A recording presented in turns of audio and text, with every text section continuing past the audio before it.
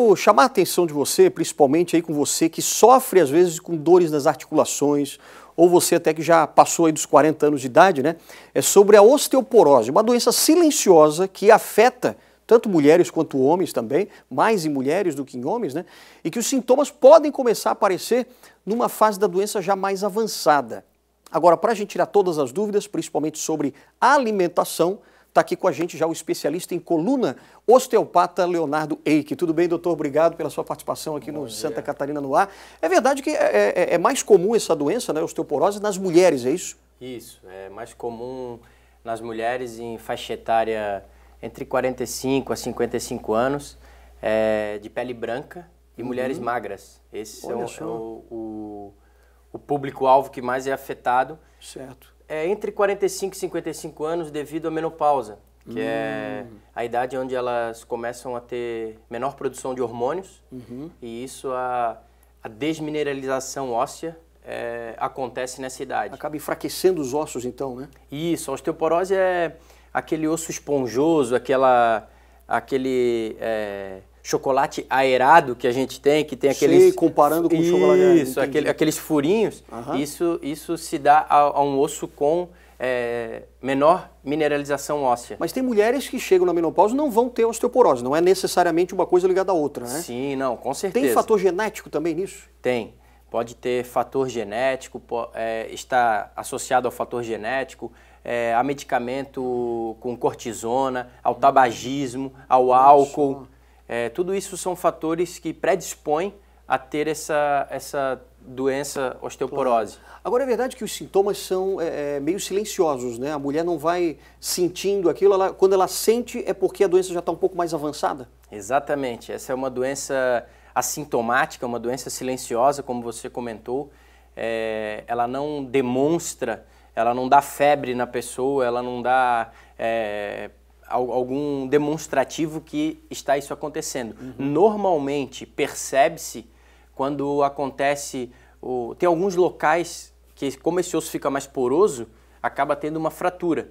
Uhum. Então, coluna lombar, é, punho, cabeça de fêmur são os principais locais que isso pode ser afetado. Então, uma pessoa que está dentro desse padrão, que chegou no médico com uma fratura nesse local, o médico já acende uma luzinha amarela, pode ser osteoporose. Pode ser. Solicita um exame. Uhum. Normalmente, o que diagnostica isso é a densitometria óssea. Certo. Então, a densitometria óssea vai diagnosticar, vai saber o percentual de, de cálcio que essa pessoa tem no, no osso. Uhum. Se ele tiver abaixo de 25% do normal, ele tem uma osteopenia, que é o início é o da início osteoporose. Uhum. Acima de 25% de perda de cálcio na, na estrutura óssea, já é considerado osteoporose. E mesmo assim, dá para repor o cálcio? Quer dizer, é um tratamento aconselhável? Isso. Aí, com o acompanhamento médico, é, tem alguns, alguns medicamentos específicos quando isso já for diagnosticado. Uhum. E também, com uma dieta alimentar, você consegue alimentos ricos em cálcio e rico principalmente em vitamina D. Certo. Que Quais cê... são esses alimentos, por exemplo? Ah, então, é, feijão, alimento uhum. é, rico Desculpa, feijão rico em ferro. É, alguns alimentos. Tem brócolis, né? Aqueles Sim, verdes. Os verdes, ricos em cálcio, ricos em vitaminas D, rico em vitamina D. É, uma coisa bem importante também hum. é tomar sol. Entre ah, 10 a 15 sim. minutos, períodos curtos. Sim. A cada uns é, três vezes ao dia, mais ou menos, em períodos curtos. Uhum. É interessante dessa pessoa tomar, é, fazer esse, essa prática no dia a dia. E sem protetor solar, né? Sim, por isso períodos curtos, entre Exato, 10 a 15 minutos. Também. Exatamente. atividade física, muito hum. importante. Atividades é, como caminhada, bicicleta, é, natação, uhum. são atividades recomendadas. É, e uma outra coisa bem importante que eu estou lembrando agora, Alexandre, hum. é alterar um pouco, porque isso, a maioria dessa, dessa a, da osteoporose é diagnosticada quando existe a fratura, como eu havia falado. Isso. E isso acontece, na maioria das vezes, em casa. Uhum. Quando você está caminhando, tropeçou num tapete, num móvel. Então, quando você tiver alguém em casa com a mãe, o pai, alguém que já tem mais idade, é, ajeite a casa, tire esse tapete, bota um móvel um pouquinho, organize para que isso não aconteça. Esses acidentes domésticos uhum. são os que mais levam a, a, a descobrir claro. a osteoporose de uma forma não tão boa, né? Sim, acidental, né? Exatamente. Agora, tem uma forma, por exemplo, as pessoas que estão lá chegando né, nos 35, 40 anos tal, tem uma forma de você prevenir a, a osteoporose ou se tem o fator genético, a pessoa mesmo se prevenindo, comendo bem e tal, vai acabar desenvolvendo a doença?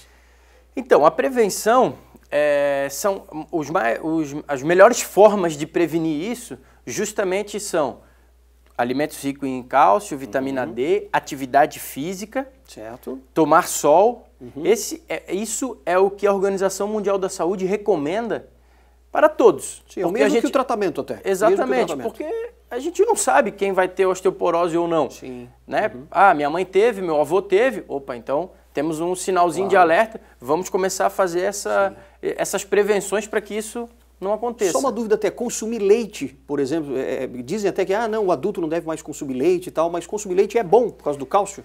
Então, é, é que hoje em dia o consumo do leite está bem, é, digamos, uns Dividido. dizem que sim, outros dizem que não, devido sim. como esse leite, é, como, como ele chega até a nossa casa. Se realmente for um leite puro, Certo. Isso vai ser bom. Isso ah, vai ser, tá. isso vai ser, é, é, vai, vai, trazer esses benefícios que o, que o leite pré-define e que eles pré-definem no, claro. no rótulo. Então isso seria bem interessante. Entendi. Maravilha. Doutor Leonardo Wake, que é osteopata, especialista em coluna, muito obrigado, hein, pela sua participação. Obrigado, obrigado por ter tirado as nossas dúvidas aqui. Obrigado Ótimo. Também.